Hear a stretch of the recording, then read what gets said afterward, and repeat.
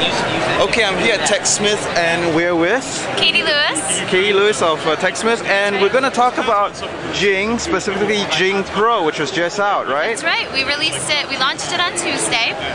And Jing Pro is $15 a year, so it's a, a, a yearly subscription. And with that, um, Jing Pro allows you to record video in MPEG format, um, which is really nice. Free Jing is Swift. And with the MPEG format, you're going to get HD quality video, um, most of the time smaller file size, and it, we also have a YouTube output button, so you can send your video straight to YouTube. And in addition, uh, Jing Pro also allows you to have unbranded videos. So with free Jing, there's some Jing branding on there, and with Jing Pro, the, the branding is removed. Yeah. So Just to remind viewers, Jing is one of the easiest to use screencasting software. It lives on the corner of your computer, as you can see right over there. Anytime you can just invoke it. So let's see what Jing Pro does.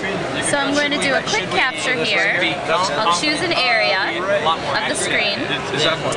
And I'll do a quick video. Mm-hmm. And just like reading, it's going to give you a, a countdown. You can record audio and start your recording. And it's great for recording quick tutorials on how to do things on your computer. Or if you want to do a quick blog post. Um, or show, you know, I use it a lot to, to chat with my coworkers, give them some feedback on design, design issues and that kind of thing. So you, you do your video recording. So I'm just gonna, you get the idea. I'm just gonna stop this recording down here. Okay. We should. You got Dan. You got Dan the man. And once it's done, as you can see with Jing Pro here, we've got this YouTube logo. So you can go straight to YouTube if you want. Um, you can still save, you can customize all your buttons. So if you have your own FTP server you want to set up, you can do that. That's gonna happen. You can still go to screencast. And I'm gonna I'm gonna play this back. It's going to be people And start your recording.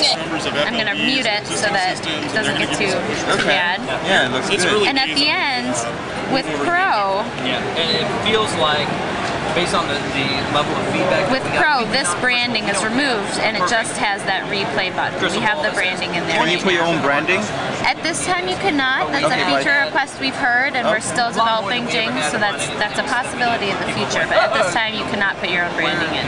One thing about it is that with the, I mean the YouTube feature is cool, just one click and goes up there. That's right. Um, but with the MPEG 4 export, this means I can easily make a video podcast as well. Exactly, yep. So when you so when you have this file in MPEG format, you can bring that video into a video editor that takes that format if you want. Um, there's, you know, with MPEG, there's a lot more you can do with those videos for sure. Great.